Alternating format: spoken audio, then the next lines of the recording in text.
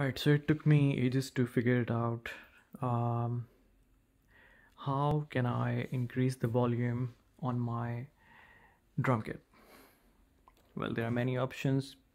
I mean, I'm just gonna make it extremely simple. There are two settings that you have to play with.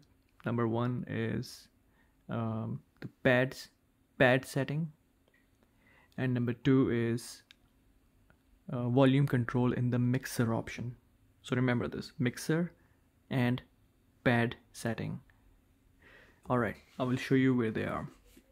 The issue with my drum when I got it, it was that the volume was very low uh, and it didn't matter if I was uh, uh, increasing the volume to full, which wasn't recommended because people say that you shouldn't you shouldn't increase the volume uh, more than 50% so if you're going all the way here that's bad.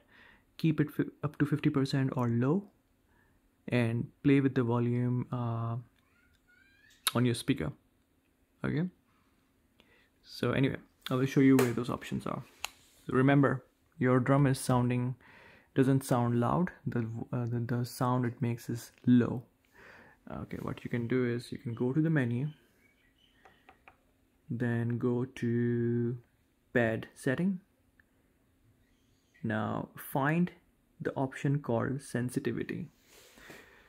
Okay sensitivity is the option um, which is really useful because uh, let's say if you're uh, wait a second. So if you if you if your system is connected with uh, let's say a PA like this yeah I will talk talk about this PA later.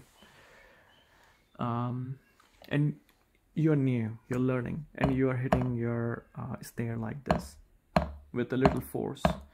Now the problem is this uh, by default how many bars do you see? Yep. So roughly five bars yeah? But let's say the sensitivity is set to five. No matter how hard you hit the bar won't go up to two or three um, because you are making it extremely hard uh, uh, for the system.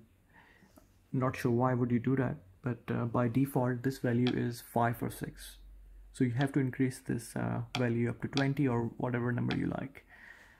Okay so what what it means is this. Even if you're hitting the drum you're new you're just learning you're doing you know you're just hitting the drum very normally without any force.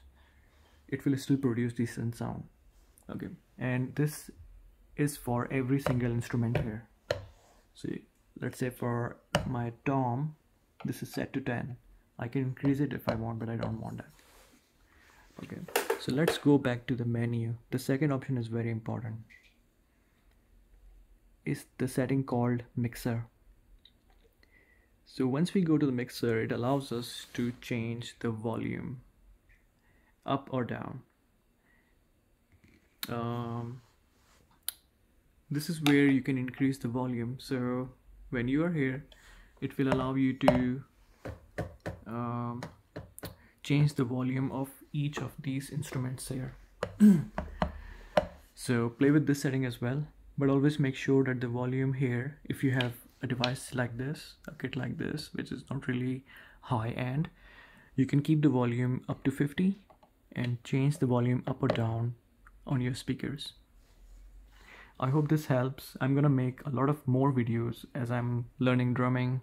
I'm coming up with um, uh, new issues new problems and I'm trying to uh, find the solutions which includes uh, should you buy an amp? If yes then which amp or should you buy a PA? PA like this. This is a PA. Oops, sorry. So in the next video I will talk about these two things. Thanks very much. I hope this video helps.